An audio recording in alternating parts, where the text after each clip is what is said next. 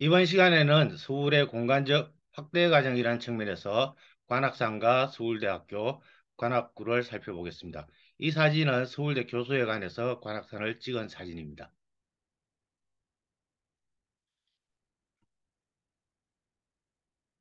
어, 서울의 입지를 볼 때 산을 중심으로 보면요. 내사산과 외사산으로 나눠집니다. 안쪽에 있는 네 개의 산이 됩니다. 안쪽에 있는 네 개의 산을 연결해서 한양 도성을 만들었다고 생각하시면 되고요. 어, 여기 보시면 백악, 다락산, 낙산, 인왕산, 목멱산이 네 개의 사산이 됩니다. 그러니까 네 사산이 되고요.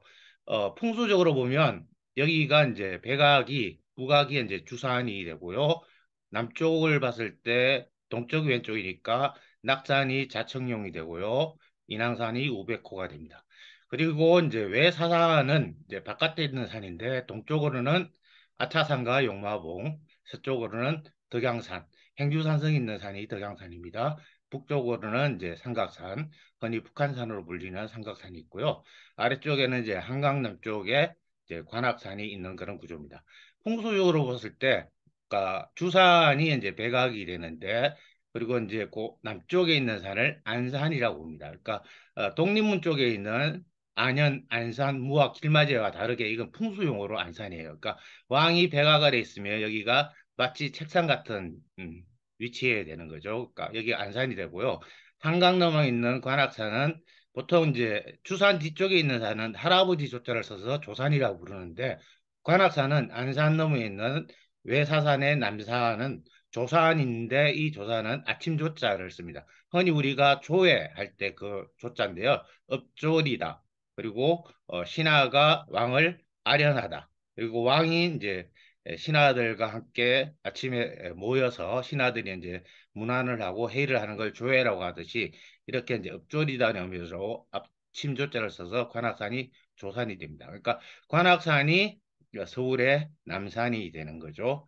그리고 이제 관악산을 기준으로 해서 하천이 갈라지는데 여기에 이제 어, 관악산의 동쪽은 양재천이 되고요. 양재천이 이제 탄천과 합류가 돼서 한강으로 들어가고요. 어, 서쪽에 있는 사, 하천은 도림천인데 도림천이 안양천과 합류가 돼서 한강으로 들어가고요. 아차산 용마봉과 이 도성 사이에는 이제 중랑천이 흐르고요. 서쪽으로는 이제 홍제천, 오래내 하천이 주요한 하천이 되는데 모든 하천들은 다 한강으로 유입이 됩니다. 그러니까 어, 백악, 인왕, 낙산, 남산, 목멱산 여기 구조와 그 다음에 삼각산, 득양산, 아차산, 영마봉, 관악산 이중 구조로 되어 있다고 보시면 됩니다. 어, 1963년 지도를 계속 이야기하는 것은 1963년에 관악산까지 서울시가 된 겁니다. 그러니까 어, 중구와 용산구 사이에 있는 남산은 한양도성의 남산이니까 한강 북쪽에 있는 거고요. 관악산이 1963년에 서울의 서울특별시의 남산이 된 겁니다. 그러니까 1963년에 서울시가 이렇게 에, 경기도 지역을 포함해서 대대적으로 확장이 될 때 당시에는 이제 영등포구밖에 없었던 거고요. 1973년에 이제 관악구가 생기게 되는데 에, 관악구청 홈페이지나 동작구청 홈페이지에는 그러니까 봉천동, 신림동, 본동뿐만 아니라 현재 이제 동작구에 해당하는 동작동, 노량진, 대방, 신대방, 사당, 상도, 헛끝까지 관악구에 포함되는 걸로 나와 있고요. 그리고 이제 현재 서초구에 해당하는 서초동, 반포동, 방배동, 양재동, 잠원동까지 이제 관악구에 포함된다고 동작구청과 관악구청 홈페이지는 나와 있습니다. 그리고 이제 그 이후로 어 1963년에는 이제 영등포구 밖에 없었으니까 이 오른쪽 지역은 이제 영등포의 동쪽 영동지구라고 불리게 되는 거고요. 그다음에 이제 구가 이제 갈라지는데 1975년에 이제 강남구가 생기고요. 1979년에 이제 강동구가 생깁니다. 어, 그리고 이제 1980년에 동작구가 분리가 되고요. 1988년에 송파구와 서초구가 새로 생기는데요. 어, 이 지도는 1981년 지도니까 영등포에서 이제 관악으로 관악에서 동작구 갈라지고 이쪽이 이제 강남구와 강동구가 있는 모습을 볼 수가 있습니다. 어, 영동지구라는 말은 이제 과거에 한강 남쪽의 중심부는 영등포 지역이니까 영등포 동쪽을 개발한다고 해서 영동지구라고 썼고요. 현재 강남구랑 서초구로 보시면 되고요. 1970년에 이제 영동지구 강남을 개발하기 위해서 남서울 개발 계획을 발표를 하게 됩니다. 그러면서 1972년에 이제 강북 도심은 이제 특정 시설 제한 구역으로 설정을 해서 더 이상 이제 새로운 시설이 들어서지 못하도록 하고요.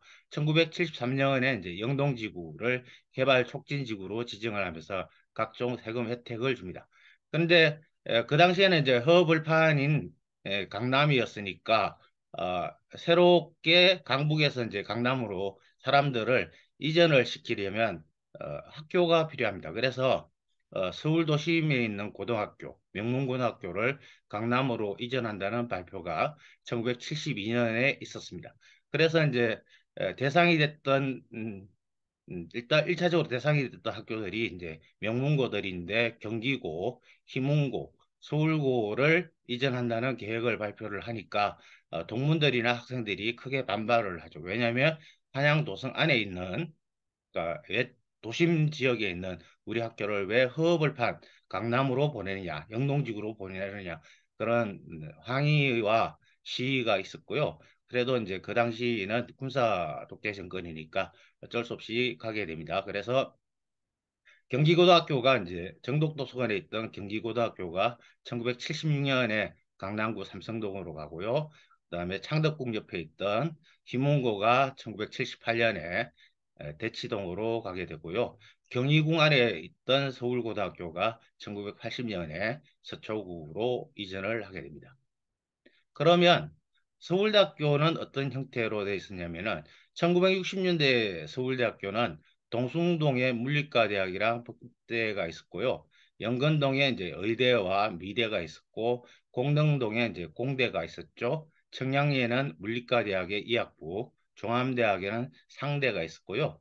영두동에 이제 사범대랑 가정대학이 있었고 을지로육가에 음대가 있었죠.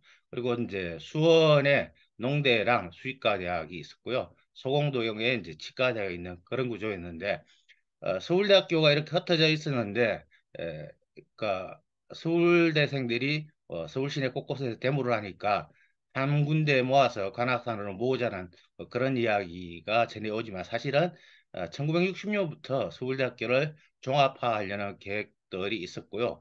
그래서 이제 대학로 쪽으로 모으느냐 아니면 태릉으로 모으느냐 어, 또 다른 데로 모으느냐 그런 논의들이 있다가 다 무산이 되고요.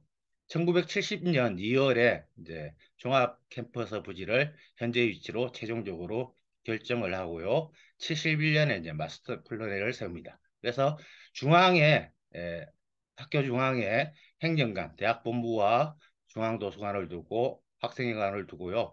거기를 기준으로 해서 이제 도서관, 대학 본부를 기준으로 해서 동쪽에는 인문사회 분야, 서쪽에는 이공대 분야가 형성 을 이제 배치를 하기로 해서 지금도 이제 중앙도서관과 본부에서 보면 어, 한쪽은 인문대, 저쪽은 자연대 이런 식으로 구성되어 있습니다.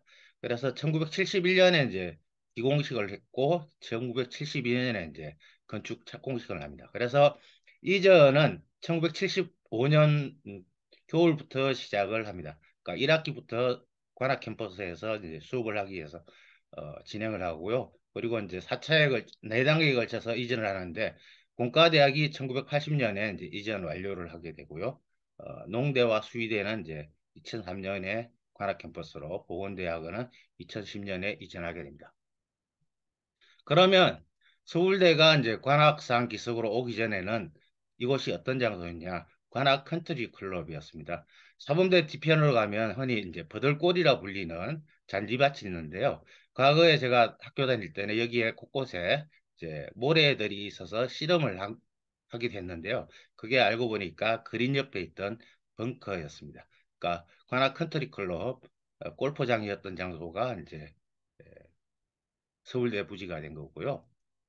그리고 이제 서울대 교수회관을 보시면 이 건물이 이제 서울대 교수회관인데 교수회관의 머릿돌을 보시면 1967년 4월 14일이에요. 그러니까 어, 관악구가 서울대학교 부지가 된 게 1970년인데 1967년 4월 14일에 이 머릿돌이 세워졌다는 것은 서울대가 여기로 오기 전에 벌써 이 건물이 세워졌다는 이야기죠. 그러니까 교수회관은 그 이전부터 있었다는 건데 여기가 컨트리 클럽이었으니까 여기가 골프장의 클럽하우스였던 거죠.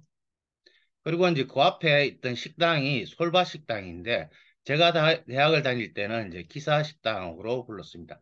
어, 2010년에 제가 여기 식당의 할머니에게 물어봤더니 왜 기사 식당이었냐고 하니까 클럽하우스에는 사장님이 이제 식사들을 하시고 어, 어, 기사 식당은 솔바 식당에서는 이제 캐디랑 운전기사들이 밥을 먹었다고 이야기를 했습니다. 그리고 이제 여기에 주로 파는 메뉴들이 이제 선지해장국 그리고 국수 등이 있었는데 어, 여기 운영하시는 할머니가 연세도 많아지고 개인적 사정으로 해서 이제 장사를 그만하시게 됐고요. 그게 서울대 생협으로 운영권이 넘어갔다가 지금은 어, 장사를 하지 않는 그러니까 지금은 철거를 한 상황입니다. 그러니까 과거에 여기가 골프장이었던 시절에 유산으로 남은 것이 이제 교수회관과 기사식당이었던 거죠.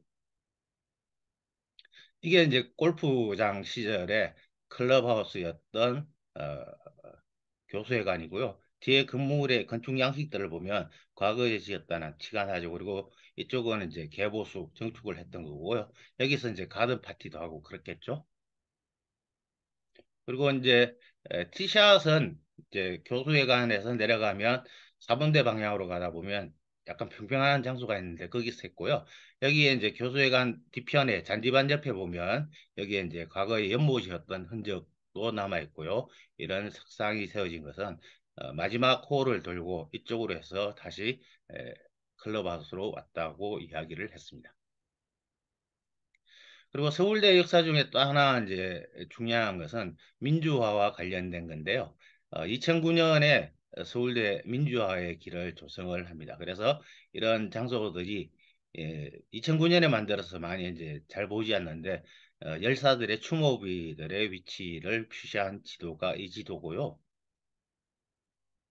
그리고 이제 박종철 여사 추모비, 그 다음에 김세진, 이재호 어, 열사의 추모비들을 볼 수 있고요. 그리고 이제 가운데 부분에 있는 것이 이제 중앙도서관입니다. 그리고 관정도서관은 새로 어, 만든 도서관이고요. 중앙도서관에서 이제 내려가면 이제 학생회관이 있는 거고 여기가 학생회관, 여기가 대학본부 행정관, 여기가 이제 도서관인데 여기를 이제 서울대생들이 집회를 하든 어, 시위를 하든 어, 아크로폴리스 광장이 되고요. 그리고 여기를 기준으로 해서 어, 저쪽으로는 자연대가 되고 이쪽 앞쪽으로 오시면 이제 인문대학이 나옵니다. 그래서 여기를 기준으로 해서 인문대, 사회대와 어, 자연대, 공대 구간으로 나누어지는 거고요. 이 앞에는 이제 어, 본부 앞에 있는 잔디밭인데 에, 과거에 이제 박모 총장께서 학생들이 예, 집회를 하는 것을 너무 싫어하셔서 어, 시나 데모나 이제 축제 때도 이 잔디밭을 못 들어가게 해서 일명 총장잔디라고 불리는 장소가 여기고요. 그리고 이제 서울대 안에 있는 연못이 이제 자연이고 여기 이 연못 옆에 보면 어, 동상이 세워져 있는데요. 어, 자하신이 선생의 에, 동상입니다. 어, 자연에서 아래쪽으로 오면 이제 에, 규장각이 있는데 원래는 이제 창덕궁에 있던 음, 왕실 도서관이었다가 어, 조선청독국 그다음에 경성제국대학으로 이제 자료가 넘어갔다가 서울대학교 도서관에 자료가 있다가 별도로 규장각으로 어, 배치를 자료들을 배치를 해둔 모습을 볼 수 있고요. 아래쪽 교문 방향으로 가다 보면 그러니까 419 학생혁명 기념탑이 있습니다. 그리고 이제 대운동 양옆으로 보면 이제 교문이 이렇게 보입니다. 과거에 여기서 이제 흔히 이야기하는 교투라는 어, 시위들을 여기서 많이 했던 겁니다. 그리고 과거에 에, 그 1872년에 시형 지도를 보면 옛지명들이 현재까지 이어오는 것을 볼 수 있고요. 신림리, 봉천리, 난곡리 이런 지명들이 여전히 남아 있고요. 그 다음에 이제 서울대 안의 연못을 자동이라고 이야기를 하는데 사실은 어, 옛지도 상에서 자동의 위치는 관악산 호수공원 정도로 보입니다. 그리고 이제 서울대 규장각 앞에 있는 그 후생간 식당 이름이 감골 식당인데요. 과거에 규장각 앞에 있는 동네를 감골이라고 불렀다고 전해집니다. 그리고 이 성주암 같은 경우에는 서울대에서 보면 이제 삼성산 방향으로 보면 어, 지금도 보이고요. 그 자동, 어, 신림리, 공천리, 상도리, 난곡리 이런 지명들을 확인을 할 수 있고요. 어, 여기 관악산을 기준으로 해서 이제 어, 이쪽은 이제 도림천이 되고요. 이 너머는 이제 양재천이 되는 거죠. 그래서 도림천의 모습이 이렇게 그려져 있는 것을 볼 수가 있습니다. 그리고 이제 서울대와 연관이 있는 것은 이제 관악산인데 관악산 아래에 보면 이제 연주대가 있고 자운함이 있는데요. 자운함 같은 경우에는 서울대학교 어, 공대 신공학관 쪽에서 올라가시면 자운함을 확인을 할 수가 있습니다. 어, 서울대학교라든지 그러니까 강남의 명문고등학교 같은 경우에는 서울의 공간적 확대 과정의 측면에서 이해를 해야 될 것 같고요. 어, 관악산이 1963년에 에, 서울의 경기가 되었으니까 그 이후에 어, 관악구와 어, 관악산 주변 지역이 많은 변화가 있었다는 것을 확인할 수 있습니다.